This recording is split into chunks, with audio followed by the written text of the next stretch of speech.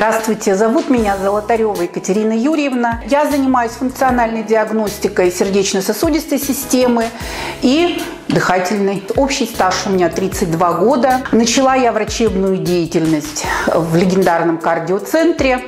Работала врачом-кардиологом. И вот уже 16 лет продолжаю работать в клинике Медсервис. Так сложилась моя судьба профессиональная, что около 10 лет назад я получила вторую специальность. Это функциональная диагностика.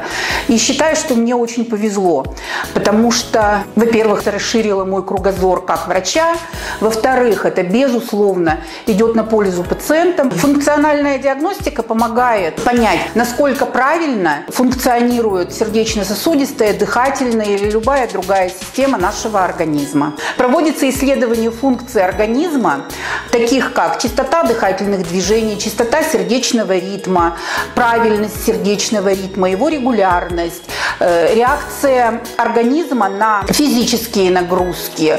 Ко мне часто обращаются не только люди с заболеванием сердечно-сосудистой системы, но и молодые здоровые люди, которые хотят правильно заниматься э, спортом, правильно распределить свои силы, чтобы получать физической нагрузки удовольствие и пользу. Будьте здоровы!